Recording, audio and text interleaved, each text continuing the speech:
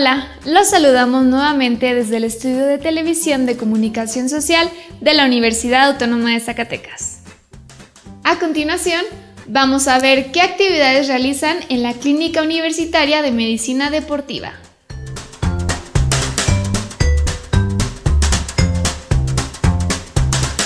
¿Qué tal? Buenas tardes. Mi nombre es Lucía del Socorro Hernández Márquez. Soy la coordinadora de medicina deportiva aquí en lo que es la Universidad Autónoma de Zacatecas.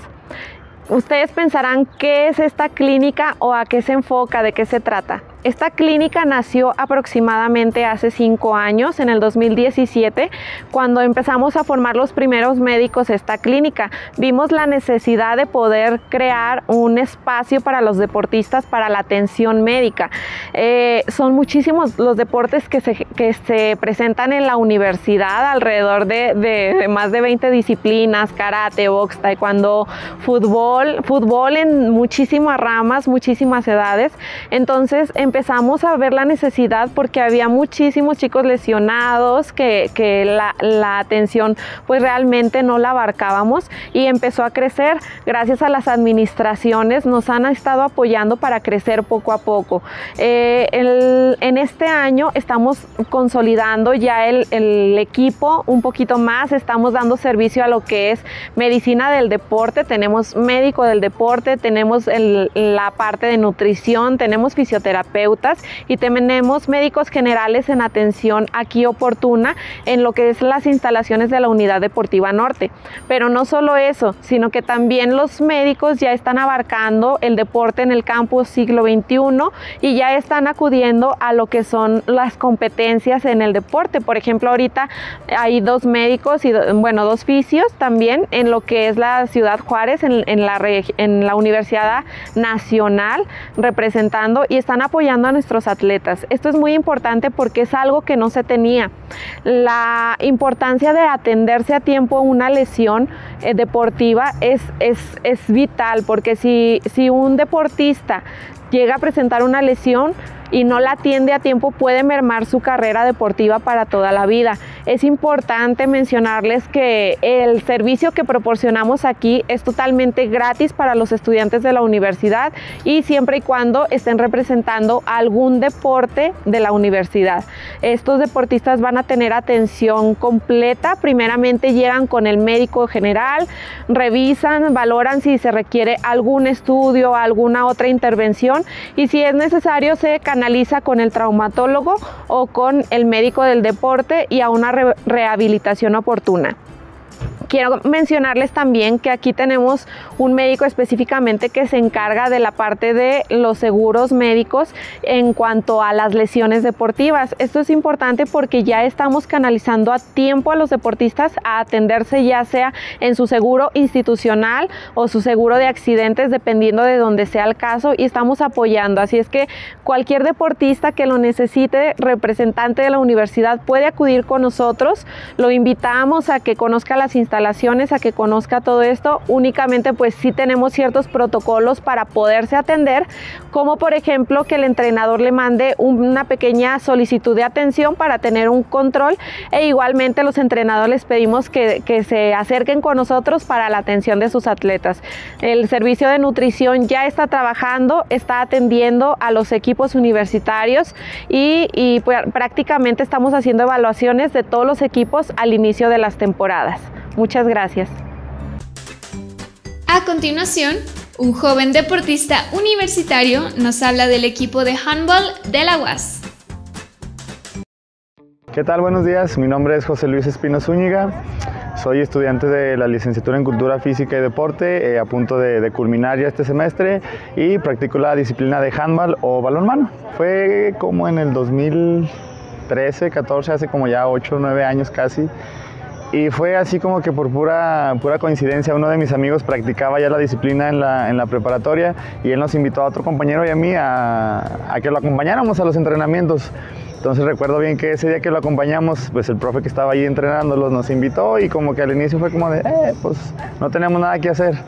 Y ya pues nos, me, me, empecé a involucrar un poquito más en, en la disciplina y recuerdo que no transcurrieron ni que serían como dos meses y el equipo tuvo un, un juego de, de fogueo en la ciudad de Aguascalientes y me invita el profe para que yo conociera un poquito más el deporte y yo creo que a partir de ahí fue donde me enamoré del deporte al ver la, rivalidad que había o que siempre hay con, Aguascalientes y desde ese momento fue que me enamoré de la disciplina y, a partir de ahí no, no, no falté a los entrenamientos. Eh, ese mismo año, en el 2014, eh, participamos en Universidad Regional. Solamente que la región que tiene Zacatecas, que es Zacatecas, Chihuahua y Durango, pues Chihuahua siempre ha sido una, una potencia a nivel nacional y fueron como cuatro años consecutivos donde había triple empate. Eh, nosotros le ganábamos a Aguascalientes, Aguascalientes le ganaba Chihuahua y Chihuahua nos ganaba a nosotros. Y por diferencia de goles o pasaba Chihuahua o pasaba Aguascalientes. Entonces siempre nos quedamos así como que a un, a un pedacito de cruzar a lo que era la, la Olimpiada Nacional. Y en el 2017, que fue nuestro último año compitiendo para, para el Estado en cuanto a, la fase de Olimpiada. Ahí sí logramos calificar a, Universidad, eh, perdón, a Olimpiada Nacional y quedamos, me parece, en sexto o en séptimo, séptimo puesto. Y después entrar a la, a la, universidad, pues ahí competimos desde el 2016 y del 2016 a la fecha estuvimos clasificando a lo que fueron las universidades nacionales, y nuestra mejor participación fue en el 2018, donde logramos ganar la medalla de plata en la Universidad Autónoma del Estado de México. Y después, bueno, se viene la pandemia y Conde para reanudar las actividades deportivas eh, lanza lo que son los campeonatos eh, nacionales de, cada disciplina y ahí en el 2021 logramos obtener la medalla de, de oro. Yo creo que es algo como que bien bueno, de repente complicado, pero todo está en la, organización del tiempo de, obviamente, de cada individuo, porque no solo es ir y, practicar el, deporte y la disciplina por el gusto, sino que es una responsabilidad que ahora sí que nos dan los entrenadores y la institución que, nos respalda para poder estar obviamente compitiendo y apoyándonos para, para, salir a las competencias. Pero yo creo que lo primordial es eh, organizar los tiempos de, de, escuela, entrenamiento, comidas y todo lo que conlleva la vida de, de un deportista para poder alcanzar un buen rendimiento deportivo. Mis objetivos. Ahorita ya culmino yo lo que fue mi participación en, en, Universidad Nacional y pues ahorita a corto o mediano plazo es igual, seguir representando a, Zacatecas en los diferentes escenarios nacionales que, que aún nos quedan por, por competir y por qué no pensar en, en, una selección mexicana que también está ahí la posibilidad de poder participar y, pues yo creo que es el sueño de, de, la mayoría de los deportistas a nivel no solo regional ni estatal, ¿no? sino que representar el nombre de México y los colores a, a nivel internacional. Eh, no, pues muchas gracias a todas las personas que siempre han estado ahí apoyándonos a lo largo de, todos estos años. Eh, yo creo que son también los logros que hemos obtenido son de ellos por el respaldo que nos han dado, obviamente a la institución. Y pues muchas gracias. Amigos universitarios, buen día. Tenemos de invitada a una gran, gran atleta. Antes que nada es trabajador de la universidad, ya está por jubilarse, pero una gran amiga, gran atleta comprometida con el deporte en general. Ella es Patti Danda. Patti, bienvenida. Patti, me gustaría que nos invitaras a decirnos qué es para ti el deporte. Gracias, Omar, por la invitación. Este, el deporte es la esencia de las personas para mantenerse 100% saludables. Eh, algún día van a adivinar mi edad, pero los invito a, que, a ese reto. El deporte te regala disciplina, te regala salud, eh, tantas, tantas cosas que, que, nos da el deporte que tenemos que estar siempre activos físicamente, ya sea para no, no, no, necesariamente para competir, sino para mantenernos activos. Ahora tuvimos un problema con este asunto de, la pandemia y bueno, no me negarás ni, ni, el público lo negará que todas aquellas personas que de cierta manera estamos activas físicamente este, estuvimos menos vulnerables al deporte. Hay excepciones, claro que hay excepciones, pero sin embargo los invito a todos, a todos los universitarios, a todo el público en general, a todo el mundo a que nunca dejen de, de creer en sí mismos y creer en que pueden lograr una caminata de 5 kilómetros, 10 kilómetros, un maratón, un triatlón, montar bicicleta por 5 horas, 7 horas, Omar, este, que es lo que nos gusta. Los invito siempre a que estén activos físicamente.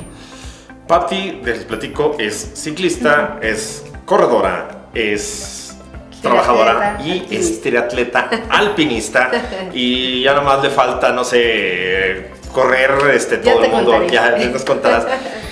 Patti, un ejemplo a seguir de la universidad. Muy pocos la conocen. Eh, espero que algún día tengan la posibilidad de verla, platicar con ella. Patti, agradecerte estos más de 28 años, pues ya te vas a jubilar, pero tuviste más tiempo, eh, ligados al deporte, ligados al trabajo. Eh, Patti, me gustaría que invitaras a la comunidad universitaria a estas locuras que llamas vida. Efectivamente, este, mi mami me dice, hija, es que estás loca. No importa que les digan locos, ¿no? Por levantarse a las 5 de la mañana, acá como el compañero, este, por no desvelarse, por dejar ir a las fiestas. Ah, se puede hacer de todo, ¿eh? De, de, manera ordenada lo pueden hacer, tener vida social, este, pero también practicar deporte, como les digo. Puede ser de una forma amateur solamente por eh, matar el tiempo, porque hay muchos casos que así lo hacen, ¿no? Matar el tiempo, eh, pedalear 5 kilómetros, 20, 50, 120, correr, este, ir al parque, invitar a sus niños, en el carrito, ah, es que no puedo ir a caminar porque tengo mi bebé. Pues compre una carriola y llévese a su bebé. O sea, no, no tienen por qué abandonar a los hijos, ni a los maridos, ni viceversa. Siempre los invito a que hagan deporte. Universitarios, este, nuestra infraestructura deportiva hay que aprovecharla lo que tenemos, este, darle uso. Hoy por hoy las redes sociales, este, los espacios, podemos hacer uso de ellos de una forma correcta este, y positiva para nosotros. Este, aprovechemos estos espacios y sigámoslo haciendo. Lo dijo Patti, eh, lo ves, ella es muy joven todavía, pero el deporte te mantiene, te mantiene estable física, emocionalmente, mentalmente. que eso es lo más básico ahora después de la pandemia. Patti, agradecerte todos estos años como universitaria, eh, termina tu vida laboral, pero sigue la vida deportiva de Patti. Sí, y me pongo a las órdenes de todos los universitarios, del público en general. Ha habido gente que me consulta, que me hace preguntas. Los invito a que sigamos con esto de la alimentación, el ejercicio. En Facebook me encuentran como Patti de Anda, siempre a la orden para todos ustedes. Patti de La UAS para el mundo. Gracias. La cultura, el conocimiento y la información desde la Universidad Autónoma de Zacatecas están en el aire a través de Avance Universitario, la revista radiofónica de la Universidad Autónoma de Zacatecas. Escúchala de lunes a viernes a las 2 de la tarde por el 97.9 de FM Radio Zacatecas. ¿Las deudas son hereditarias? El maestro Víctor Hugo Galicia nos lo explica. Hola, bienvenidos una vez más a nuestra cápsula Finanzas para Todos. Nos encontramos con el maestro Víctor Hugo Galicia Soto, maestro de la Unidad Académica de Contaduría. Bienvenido, maestro. Y hoy nos mandó una pregunta Bricia Soto, que nos pregunta, ¿se pueden heredar las deudas ante el fallecimiento de un familiar? Bueno, gracias por la invitación. Sí, efectivamente, hay siempre la inquietud cuando alguna persona tiene alguna deuda y este, por circunstancias pues fallece y las personas o los deudos, los parientes, la esposa o los hijos, normalmente se quedan con esa inquietud. Efectivamente, las deudas ya hoy en día no se heredan eh, los créditos hipotecarios, los personales, los préstamos personales, los fraccionarios, los avíos, todos los tipos de créditos que la banca ofrece, normalmente llevan un seguro de vida.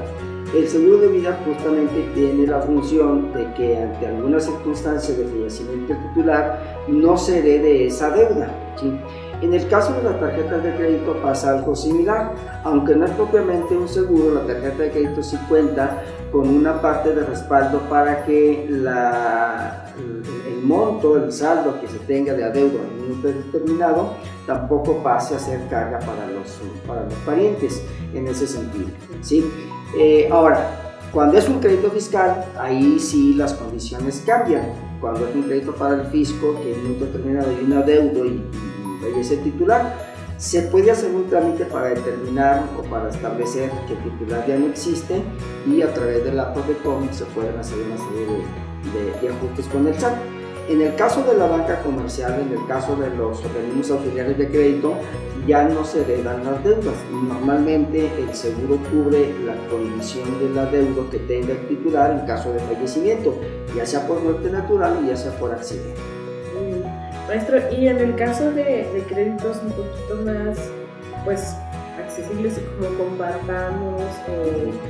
o Coppel, que te ofrecen estos seguros, eh, ¿usted recomendaría que sí se contraten o, que no se contraten? ¿O cómo podemos como ver como en las condiciones? Bueno, lo que sucede es que normalmente, siempre que se da un financiamiento en cualquier institución bancaria, siempre va a haber un seguro de vida, siempre, siempre. Es decir, ya, ya se encuentra establecido por ley. Aquí el detalle es cuando se ofrecen por fuera de manera separada. Y aquí vamos a entrar al campo de la cultura financiera. ¿sí? Es decir, la gente tiene una cultura de adquirir un seguro por alguna circunstancia, la gente tiene una cultura de, de asegurar alguna situación, algún cimiento que tenga más adelante. En el caso, insisto, de los financiamientos, de los créditos que se otorgan, casi siempre, casi siempre va a ir un seguro de vida en ese sentido. Entonces, me parece que es cuestión de la cultura para que nosotros tengamos la posibilidad de asegurar y no dejar deudas a nuestros parientes. Bueno, maestro, muchas gracias. Muchas gracias por acompañarnos en una cápsula más. Les, les recordamos que aquí están nuestras redes sociales, que nos pueden escribir si tienen alguna duda o pregunta para el maestro y nos vemos hasta la próxima. A continuación, vamos a conocer la nueva revista de la Unidad Académica de Odontología. Hola, ¿qué tal? El día de hoy les vamos a hablar sobre una revista que ha sido editada por la Unidad Académica de Odontología. ¿De dónde surge? Bueno, pues a partir del año 2014, por medio de lo que fueron las jornadas internacionales de investigación en odontología, eh, Integrantes de cuerpos académicos y también docentes que formamos parte del Instituto de Investigaciones Odontológicas de la UAS, pues fue eh, esa intención de hacer un foro en donde se presentaran trabajos, publicaciones que a lo mejor no se habían presentado en otros lugares, también tesis de estudiantes que obviamente pues están ahí con nosotros y surgen pues estas jornadas. Como les comento, fue a partir del 2014 en la actualidad, en las jornadas edición octavas eh, se desarrollaron pues el año pasado. A partir de ello hubo una vinculación eh, por parte de lo que son las revistas de, de, la universidad y pudimos publicar un conference proceeding que este pues nos va a servir para todos aquellos trabajos que se presenten en el evento pues puedan ser enviados en formato en extenso y ahorita la doctora Celia nos va a comentar cuántos trabajos fueron aceptados, cómo fue el proceso y que finalmente pues es la revista que el día de hoy pues venimos a informarles y a, promocionar a que estén pues con nosotros, ¿no? Y que pueda seguir esta publicación. Ya tenemos la primera, el primer número que fue publicado de hecho eh, eh, hace algunos días. Entonces la doctora Celia nos va a hacer el favor de, de comentarnos sobre cuántos trabajos son los que están ahí incluidos. Sí, gracias, doctora Cristian. Bueno, los exhortamos, ¿verdad?, para que publiquen en esta revista. Es una innovación que tenemos dentro de la unidad académica de odontología, de lo cual nada más se presentaron o se aceptaron 22 trabajos, de los cuales fueron evaluados por pares académicos dentro de las vertientes que teníamos para pues, ser publicados fue la investigación básica, la investigación epidemiológica, educativa, casos clínicos, y trabajos libres, de los cuales también tuvieron un respaldo en el diseño de la misma revista a través del maestro José Adrián Luna Pacheco, la maestra Mili y también pues su colaboración en la coordinación de la misma revista, otro grupo de, de, maestros, este, también un claustro docente, ¿verdad? De los cuales también estamos coordinando la misma compañeros investigadores con un doctorado también, de los cuales está conformado por el doctor mm, Jesús Luengo, el coordinador de la misma revista también y de las mismas jornadas de investigación, el doctor César Iván Gaitán, así como la doctora odontopediatra Yurixi. Está también la maestra Fátima, Fátima. de Muro Casas, que tiene doctorado en farmacología, de igual forma, también está la doctora Cristian y su servidora. También a la par está el doctor Carlos Bermúdez, que tiene un doctorado en ciencias. Bueno, los exhortamos pues para que también visiten nuestra página web, así como nuestras redes sociales, para que estén atentos a la nueva convocatoria de las novenas jornadas en investigación odontológicas por parte de la Unidad Académica de Odontología. ¿Qué les parece si vamos a conocer las actividades que realizaron recientemente la Unidad Académica Preparatoria?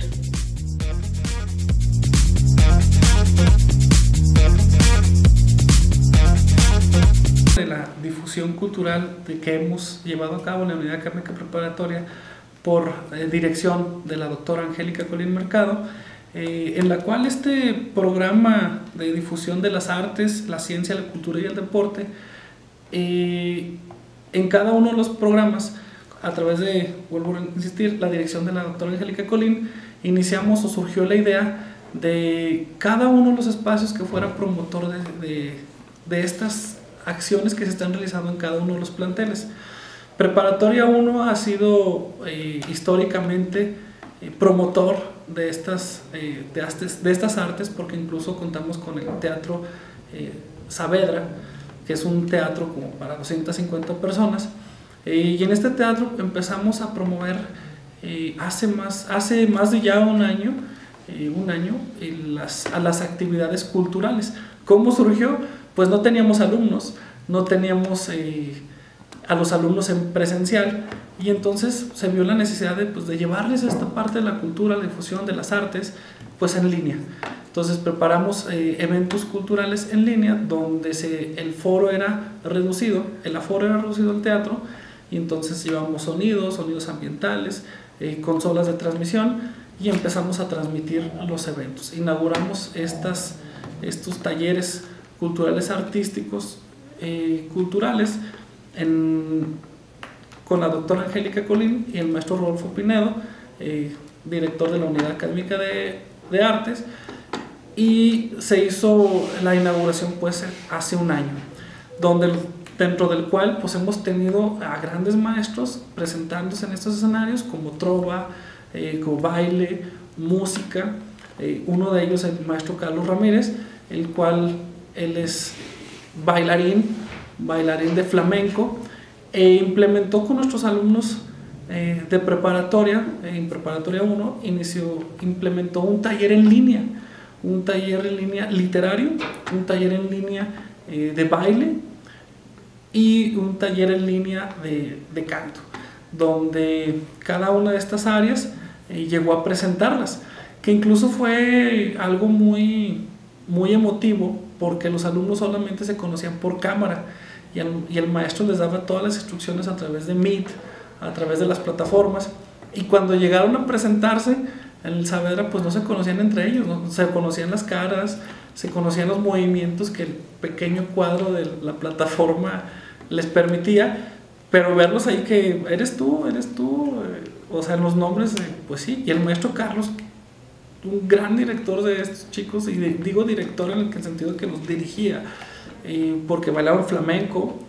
Y entonces al ver que los chavos se conocían y con unas instrucciones previas al evento, obviamente cuidando siempre los protocolos hace un año, pues llevaron a cabo la puesta en escena. Posteriormente hemos tenido Trova también, donde nos ha acompañado eh, autoridades universitarias de diferentes unidades académicas, porque también eso nos ha permitido eh, tocar por los espacios eh, con la maestra Verónica Dávila, que también nos ha permitido a través de los grupos que ella maneja que se puedan presentar. Se han presentado en estos espacios y, y nosotros hemos tenido la apertura pues también de fomentar con los alumnos y mostrar el resultado que se están llevando. La última puesta en escena fue por el plantel 9, que es Nieves, Francisco Murguía, R. Murguía, donde presentaron eh, Muay Thai, eh, esta arte marcial mixto de tailandés, guitarra, canto y ballet folclórico. Todo que están llevando a cabo en, en el plantel número 9. Y la doctora Angélica Collin permite, se, permite también llevar a cabo estas actividades, pero aparte impulsarlas y cada uno de los planteles se plantea que lleven a cabo muestras de lo culturales de lo que están haciendo en cada uno de los planteles vamos a conocer esta nueva sección que se llama Vida de Estudiantes. Ya comienza Vida de Estudiante. Ahora nos encontramos en la unidad académica de psicología. Venimos a la cuarta feria del producto innovador. Vamos a ver qué nos informan.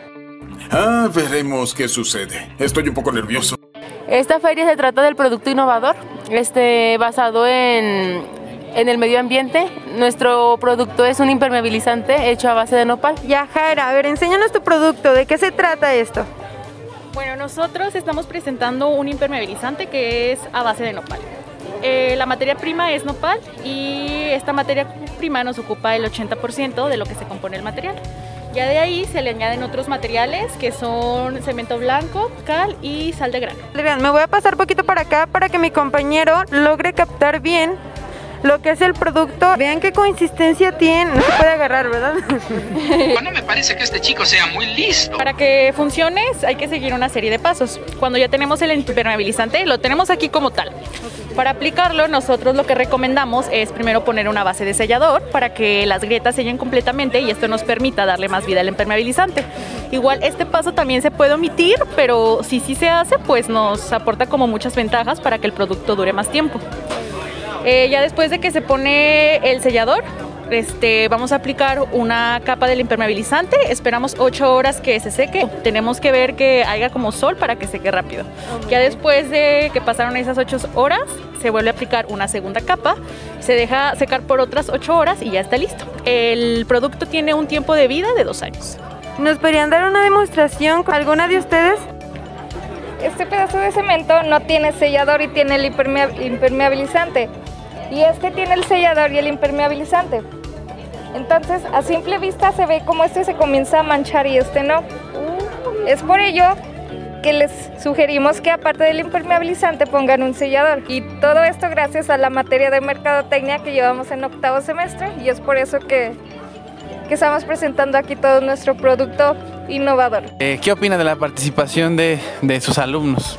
Hola, ¿qué tal? Buenas tardes. Pues muy contenta, muy contenta por este evento, muy contenta con los trabajos que presentaron el día de hoy las y los estudiantes de octavo de laboral.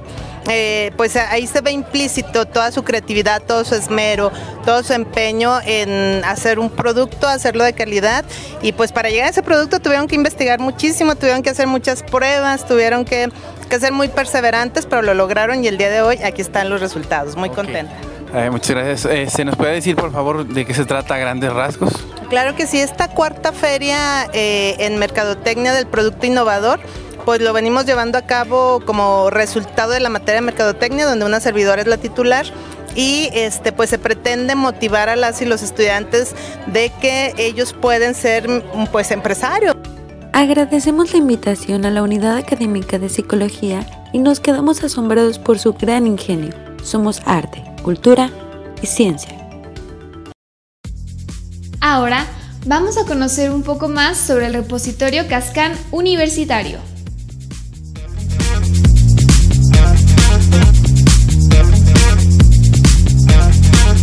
Muy buen día, mi nombre es Montserrat García y yo soy de la Oficina de Ciencia Abierta de la Universidad Autónoma de Zacatecas y el día de hoy les quiero compartir un poco de lo que significa, cómo trabaja y para qué le sirve el repositorio institucional de la universidad.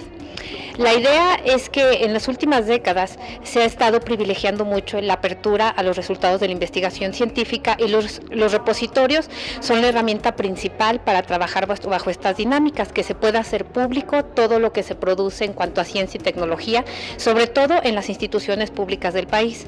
En México, la premisa es que todo lo hecho con recursos públicos debe de estar en acceso al público, porque está pagado con los impuestos.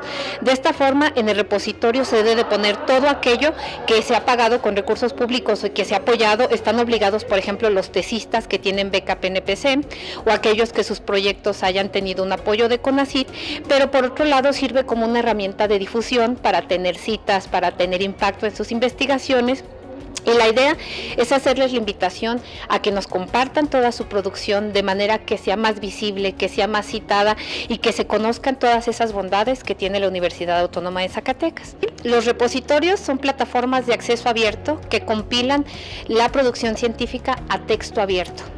Es decir, no se sube carátula, no se sube referencia, sino el documento completo. El documento para que pueda ser consultado. En muchos niveles lo comparan con una biblioteca digital pero es una biblioteca totalmente abierta a todo el público donde no tienes que registrarte ni nada. El repositorio sirve en por lo menos dos sentidos. Uno, como rendición de cuentas del dinero que se les da a las universidades y otro también para promover el uso de la ciencia para el bienestar social, para el bienestar común y en ese sentido se habla mucho de democratización de la ciencia y de que la ciencia realmente sirva para resolver los problemas sociales.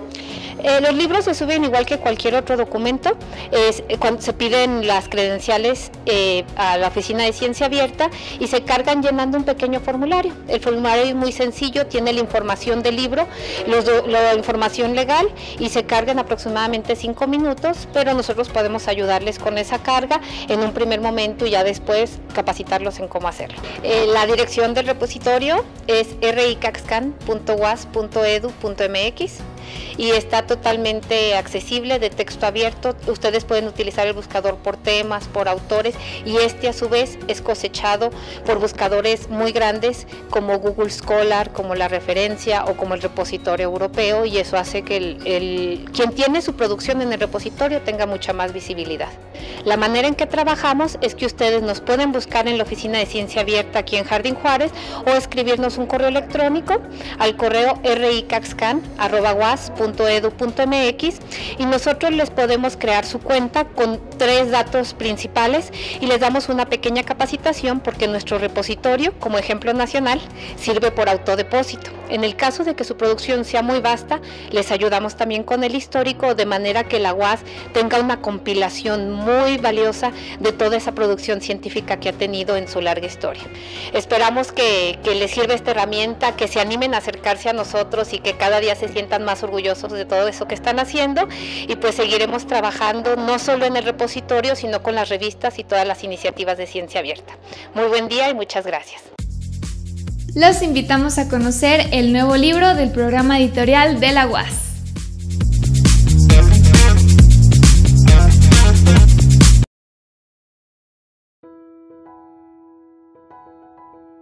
Hola amigos de Multiverso Was, ¿qué tal? Es un placer estar con ustedes de nueva cuenta, en esta ocasión presentando eh, de nuevo al doctor Nelson Guzmán Robledo, eh, maestro en, filosofía y gran amigo, que nos trae en esta ocasión un libro que con su cuerpo académico que se llama La selva y el concepto, estudios de filosofía y antropología, coordinado por Sergio Espinosa Proa, Nelson Guzmán Robledo y Leobardo Villegas Mariscal.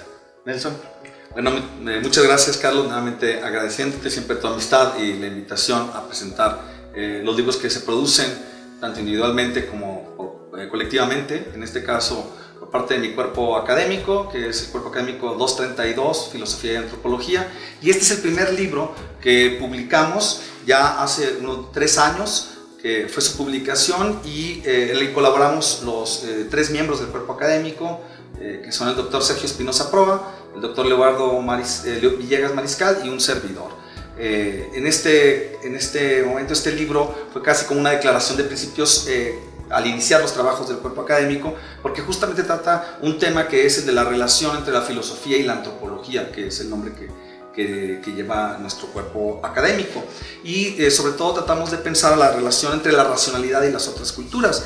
Los ensayos que se presentaron, voy a dar eh, lectura a los títulos de los tres ensayos que componen el libro, por parte de Sergio Espinosa Proa es el ensayo de una sabiduría oscura, filosofía y mitología, por parte del doctor Leobardo Villegas Mariscal, colaboró con el libro Sujeto Objeto, Epistemología Occidental, y por parte de un servidor de lo irreductible, Pensamiento Primitivo y Razón. En general, eh, los tres textos abordan la relación entre la razón y otras formas alternativas de pensamiento, u otras formas anteriores, o, bueno, no me gustaría situarlo en una posición cronológica, pero otras formas distintas de pensamiento, como lo es el mito. En el caso del doctor Sergio Espinosa Proa, él trató eh, la idea de una ah, racionalidad alterna. En mi caso, eh, traté de indagar cómo las eh, formas de pensamiento míticas no están sometidas a los mismos principios de la racionalidad o de la lógica occidental, en, concretamente el principio de no contradicción. Y cómo la filosofía tuvo una transformación al introducir en los hábitos de pensamiento justamente ciertos principios lógicos que no son universales y el doctor Leonardo Villegas, con ese gran conocimiento que tiene de la cultura eh, huichola, pues trata las formas de pensamiento y racionalidad de esta etnia. Excelente, pues qué interesante. enhorabuena por el cuerpo académico y por los autores. Este, bueno, no nos queda más que invitarlos a, adquirir una copia. Eh, pónganse en, contacto con nosotros en nuestra página de Facebook, programa editorial UAS, y les diremos la dinámica. Entonces, pues muchas gracias. Amigos de Multiverso, muchas gracias. Hasta la vista.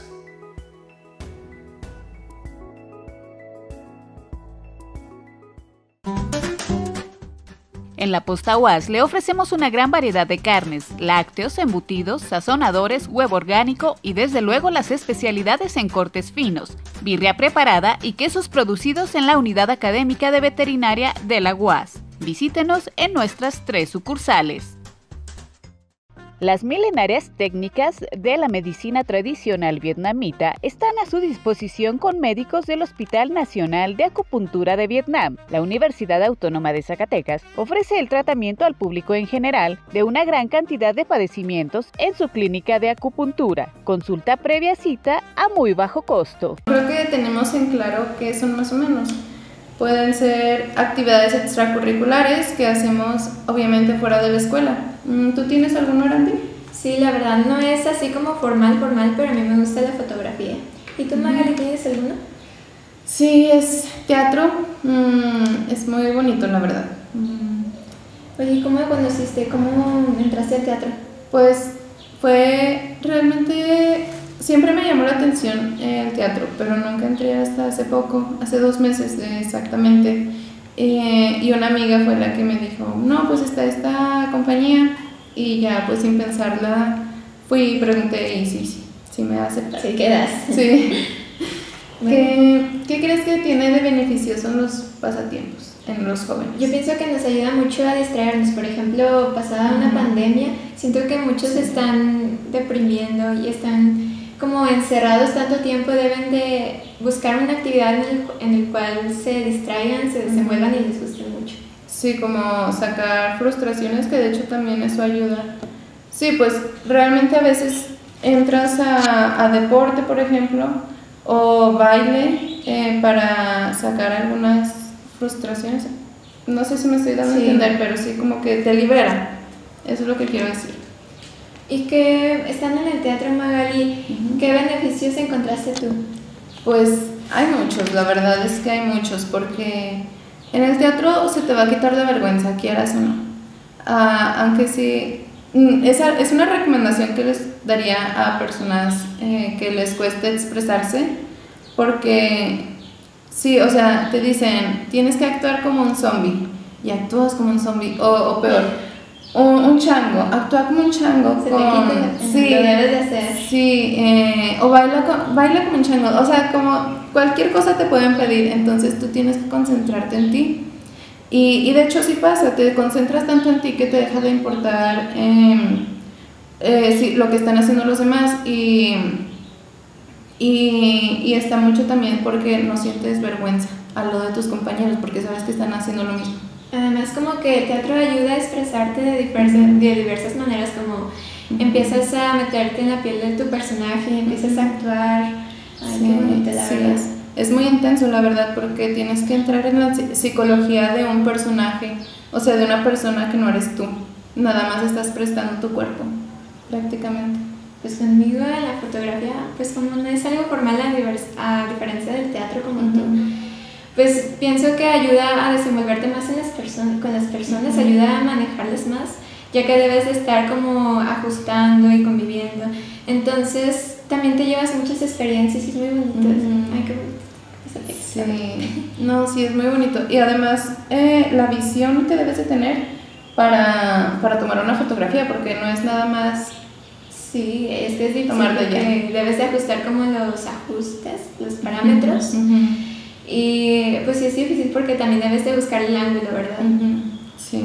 Bueno, como conclusión, yo diría que busquen algo, como consejo, busquen algo y no lo piensen demasiado. Busquen algo que les interese, que les guste y métanse, no, no la piensen.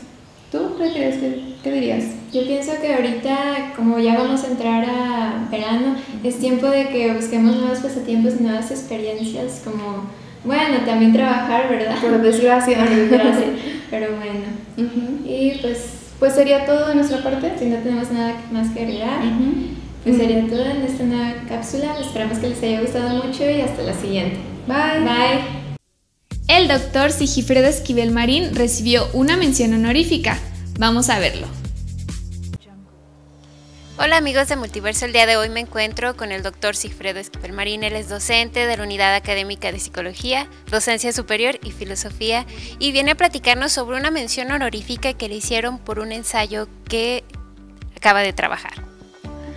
Hola, ¿qué tal Bricia? Es un placer estar aquí con ustedes en Multiverso y desde luego estoy muy complacido de haber recibido la mención honorífica en Poéticas Teatrales Mexicanas Contemporáneas 2021 y en la publicación eh, del libro en el repositorio del Imbal Citru de este ensayo sobre subjetivaciones estéticas a partir de la obra de María Moliner.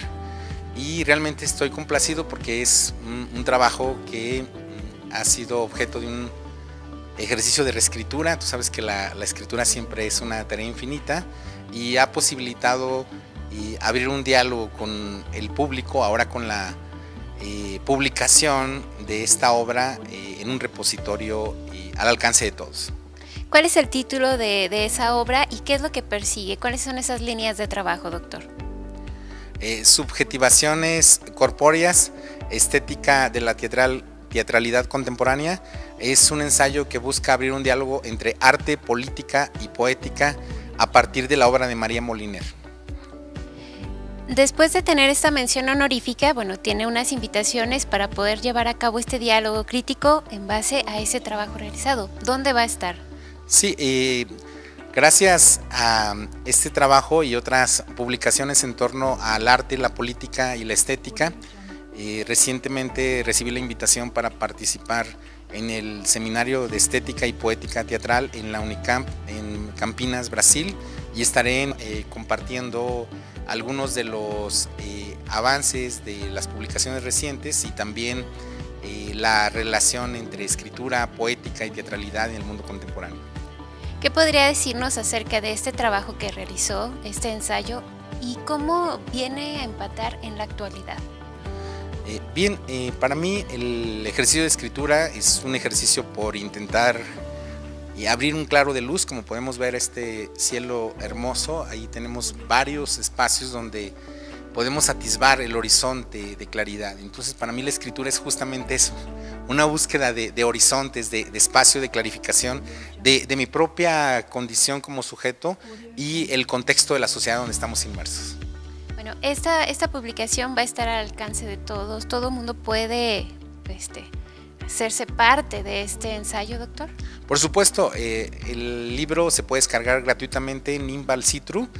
Eh, ahí está en el repositorio como libro digital y todos los comentarios, críticas son bienvenidos. Ya cuando uno publica un libro ya no, ya no es tuyo, es del público.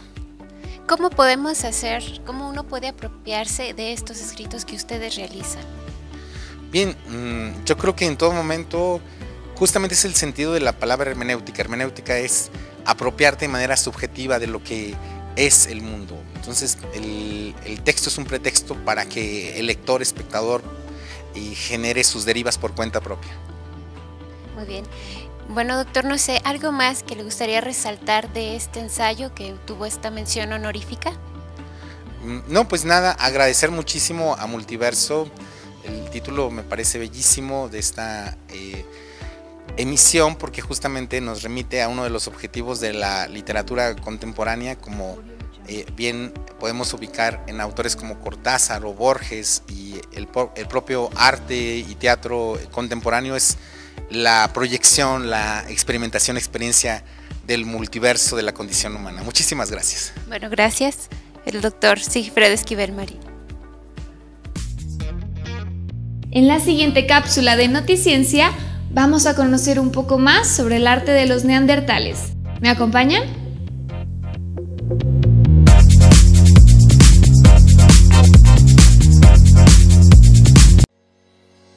¿Qué tal? ¿Cómo está usted? Esto es Noticiencia y lo recibimos con una noticia que seguramente le va a agradar. Resulta que se ha revelado un lado artístico del hombre de Neandertal, aquel, aquella especie previa al Homo sapiens sapiens que creíamos muy salvaje, muy primitiva, pues resulta que no lo es tanto. Así es, y pues bueno, este hombre neandertal es eh, autor de interesantes pinturas eh, que se han encontrado en estalagmitas en una cueva de España que tienen una antigüedad de más de 60.000 años. Esto fue descubierto según un reciente estudio. Se creía, por, en principio, que estas estalagmitas habían sido pintadas, habían sido cubiertas por óxido propio de los elementos químicos que se encuentran en la cueva de Ardales, en particular, que fue este lugar donde se encontró. Y se pudo demostrar que los patrones no son consistentes con la acción de la naturaleza, de manera que tuvieron que haber sido aplicados por unas personas inteligentes con alguna capacidad eh, de discernimiento importante. Pero además se demostró que estas personas no podían ser Homo sapiens sapiens porque según eh, la datación del tiempo en el que proceden estas pinturas, pues eh, ocurrieron en un momento en que el Homo sapiens sapiens no estaba presente en Europa, de manera que tuvieron que ser los antecesores. Así es, y pues bueno, eh, Francesco de Rico es un coautor de un nuevo artículo científico difundido en la revista Proceedings. Él explicó que quizás estos pigmentos, pues como lo comentabas, no fue de algo natural, ¿no? Sino que esto fue como resultado de algún flujo de óxido de hierro. Y pues bueno, esto se publicó en la Academia Nacional de Ciencias de Estados Unidos el lunes 2 eh, de agosto del 2021. Previo a esto, se había publicado un artículo en 2018 en Science en el cual se daba cuenta de que no podían ser obra de la naturaleza, sino de agentes externos. Pero además hay un dato adicional. Resulta que estas aplicaciones difieren unas de otras por espacio hasta de 10.000 años de manera que difícilmente podían haber sido obra de la naturaleza por la forma discreta, es decir, eh, no continua en la cual fueron aplicados. Claro, y bueno, mencionando esta aplicación, pues era mediante salpicaduras y soplados, entonces, pues sale esta pregunta, ¿no? ¿Cómo surgió? Y además, pues el hombre de Neandertal se sabe, se extinguió hace alrededor de 40.000 años, de manera que pues tuvieron que haber sido ellos antes de la presencia del Homo sapiens sapiens. Y eso, que creíamos que era una especie salvaje, primitiva, violenta, pues resulta que tenía además su lado artístico y sensitivo. Así es. Y pues bueno, pues es difícil comparar el arte neandertal con las pinturas eh, murales realizadas por humanos modernos prehistóricos, como las que se encuentran en la cueva Chauvet-Port de Acht en Francia, que esta tiene pues más de 30.000 años de antigüedad, así que pues bueno, esto era muy, muy difícil de comparar, ¿verdad? Los neandertales entonces no eran tan lejanos del Homo sapiens sapiens, sino hermanos muy cercanos. Así es. Y pues bueno, terminamos con esta nota de Noticiencia y nos vemos a la próxima. Hasta luego, Frida. Hasta, luego. Muchísimas gracias por acompañarnos en esta emisión de Multiverso Was. No se olviden de enviar sus comentarios a nuestra página de Facebook y nos vemos aquí en la próxima. Hasta pronto.